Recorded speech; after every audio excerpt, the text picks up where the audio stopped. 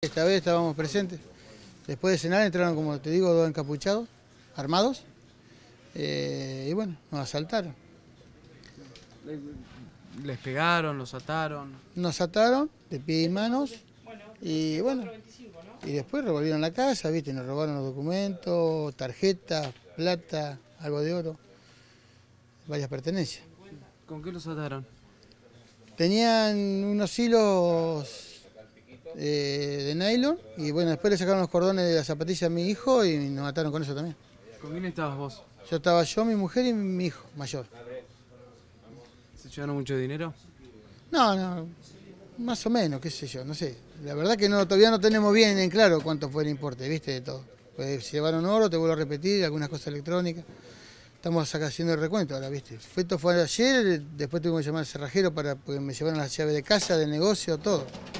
Se llevaron una cámara de filmación, eh, después llevaron relojes, oro y dinero. Eh, muy, muy violentos, nerviosos. No, no, no, no, no, no, totalmente tranquilo. No, muy tranquilo estaba, no. En todo momento amenazándolos con, con las Sí, armas. sí, entraron a punta de pistola los tipos.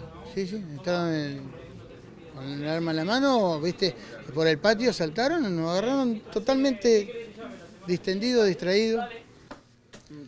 Salieron por el frente, salieron otra vez por atrás. No, después salieron por el frente, por eso se llevaron la llave, nos dejaron maniatados, encerrados y se llevaron la llave. de- justo tenían el manojo de llave de negocio con la llave de casa y se llevaron todo. O sea que no solo, digamos, tenés que cambiar la cerradura de tu casa, sino también la del local. Sí, sí, ya la están cambiando lo de local. Anoche estuvimos hasta la una y pico de la mañana con una cerrajería de esa de 24 horas, ¿viste? Que vino, bueno, porque si no hoy no podía abrir. Porque también lo tengo todo enrejado al negocio. Es un problema, ¿viste? Te, noto ya un poco como resignado, Daniel. Y ya estoy acostumbrado, es la cuarta vez que me roban. Y no, no se han resuelto ninguno de los robos, nunca. Entonces, yo, me estoy acostumbrando. ¿Hiciste la denuncia o...? Sí, sí, sí. Sí, al toque llamamos a la policía. Y vino rápido la policía, ¿eh?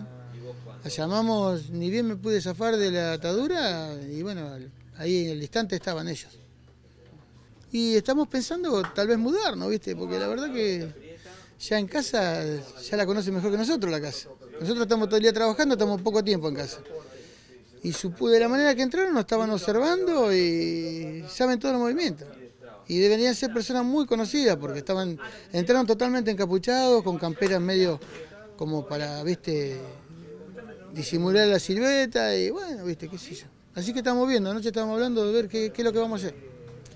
¿Pudiste ver, escuchar si se fueron en algún vehículo o algo? No, no, no sabemos, no, no. No, no sentimos ruido, nada, no.